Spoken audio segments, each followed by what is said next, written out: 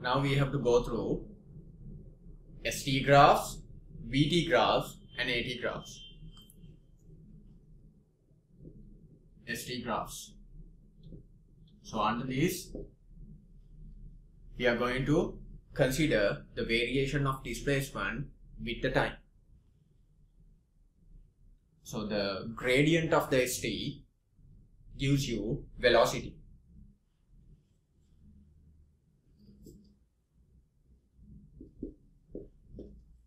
When considering these graphs,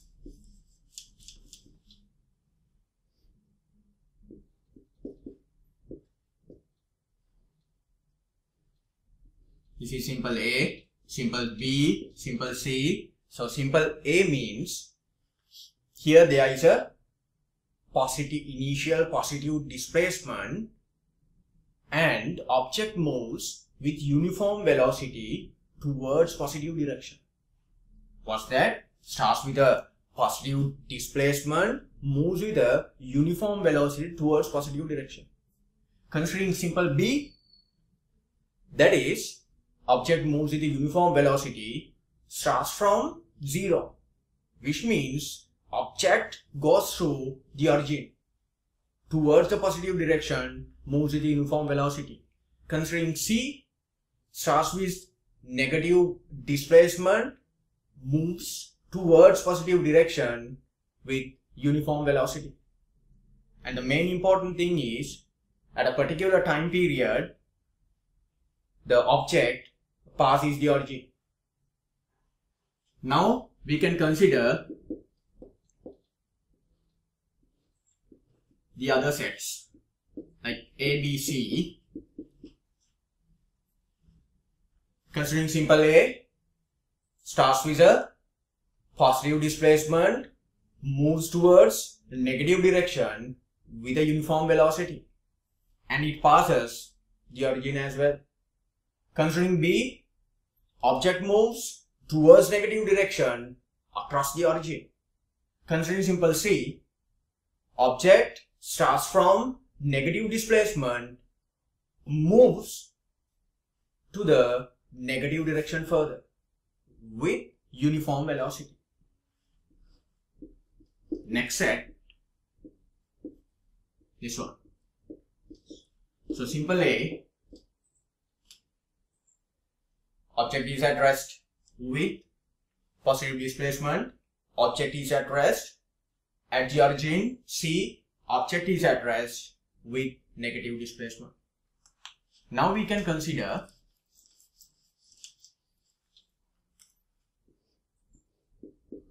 these three as well. This is like object moves with an acceleration towards positive direction. Towards positive direction. Considering simple A starts from positive displacement, moves towards positive direction with uniform acceleration.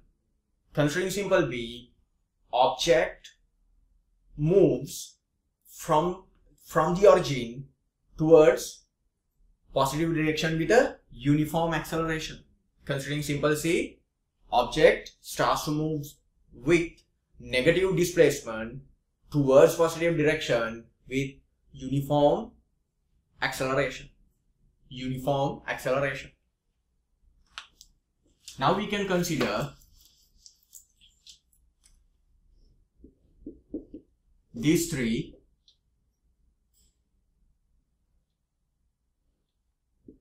simple A, B and C.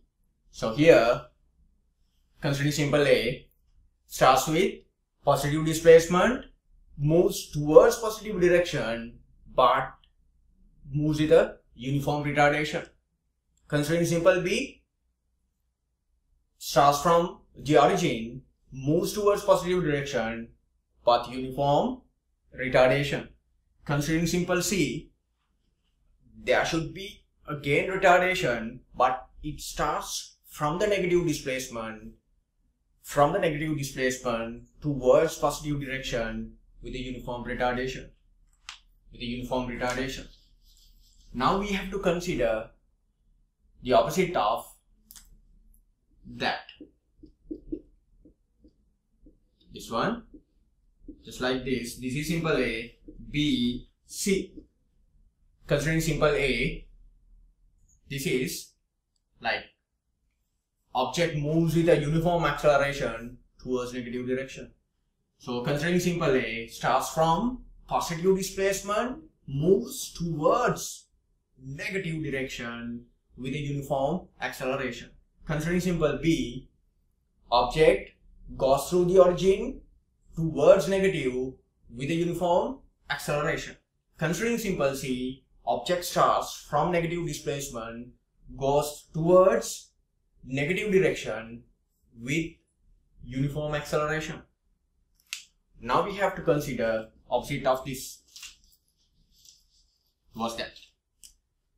It should be just like this. Simple A, B, C. What are these? All should be deceleration or retardation towards negative direction. Considering simple A starts from positive displacement moves towards negative direction with uniform retardation. Considering simple B goes through the origin and moves towards negative direction with a uniform with an uniform retardation. Considering simple C starts from negative displacement and moves towards negative direction further with uniform retardation.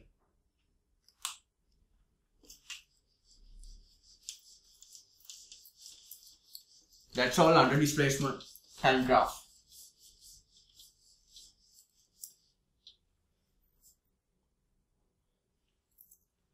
Now,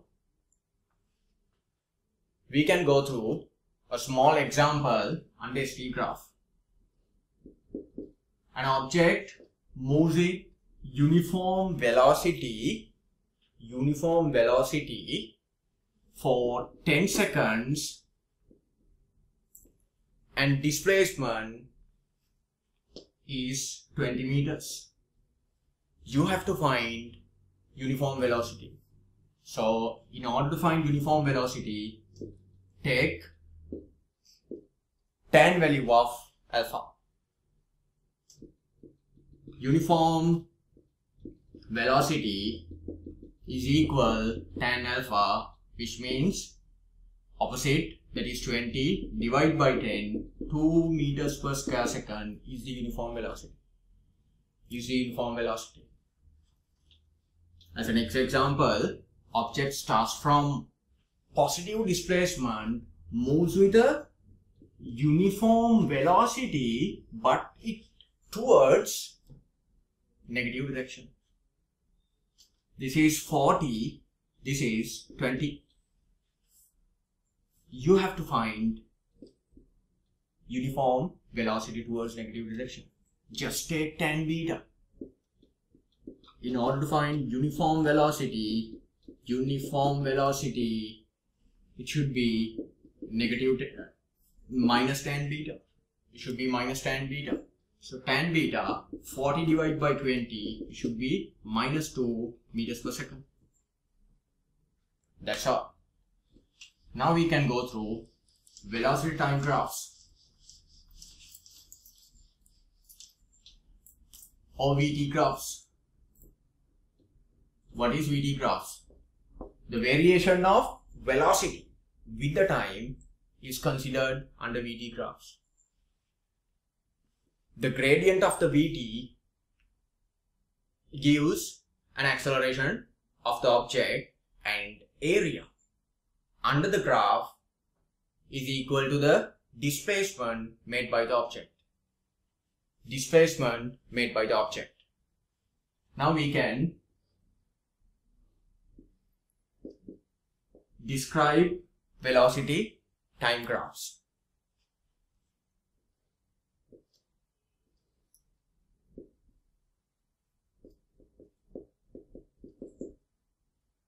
Considering simple A starts with positive velocity which means object moves towards positive direction then moves with a uniform acceleration towards positive direction.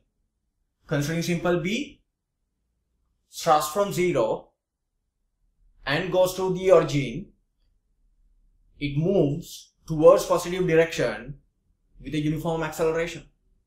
Considering C, very important one, starts from from the origin, but there is a negative velocity. Negative velocity means object moves towards negative direction. Towards negative direction first. Then it starts to retard it. It starts to decrease the velocity. Then finally, the velocity becomes zero, which means object is at rest. Then turns back, then move to the positive direction with a uniform acceleration. And the main important thing is the area under graph are equal to each other, which means object goes through the origin, passes through the origin. Now we can go through next edit.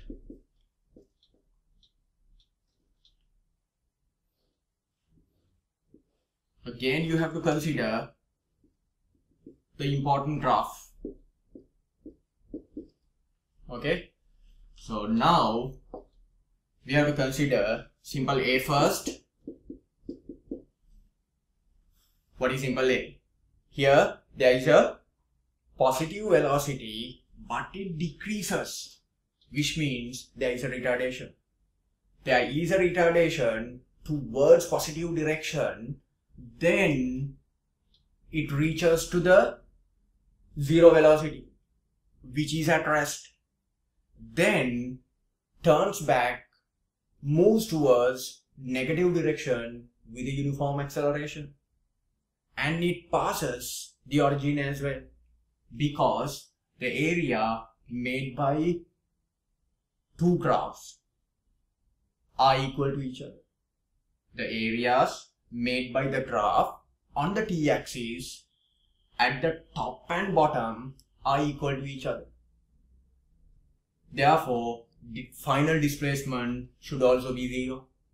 Considering simple B starts from 0 and the origin which means object starts from from the origin and goes through the goes through the origin and the initial velocity is 0 but it manages to move with a uniform acceleration towards negative direction. Considering simple C, there is a negative velocity there, which means object initially faces to the negative direction. Then it moves with a uniform acceleration towards negative direction continuously. Now, we can go through these three simple A, B and C. Simple A that is uniform velocity towards positive direction. Why is that?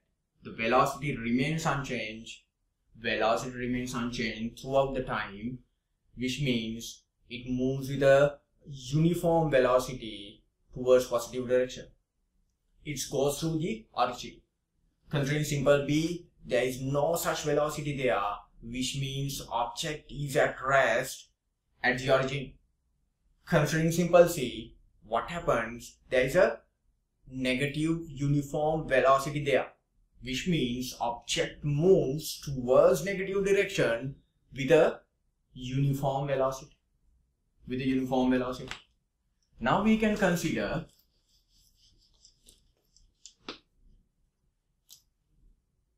we can consider the final graph as just like this. Just like this. So the gradient changes as the time progresses. Therefore acceleration varies. This graph is ideal for motion of rocket. Because the velocity increases rapidly as well as the acceleration. Because when the rocket goes up, the gas releases by the is released by the rocket mass decreases as a result of that acceleration increases rapidly. So this is the ideal graph when for the motion of rocket.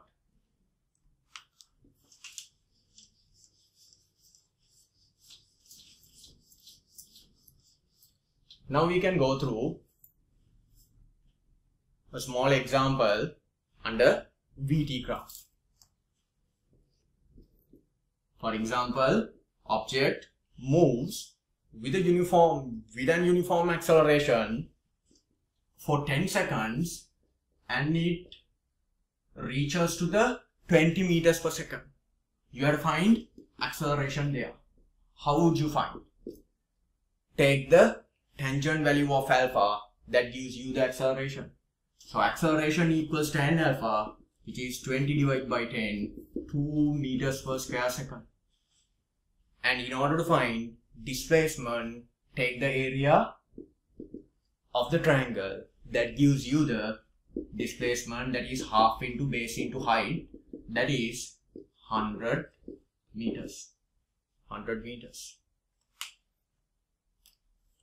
now we can go through the next example object starts from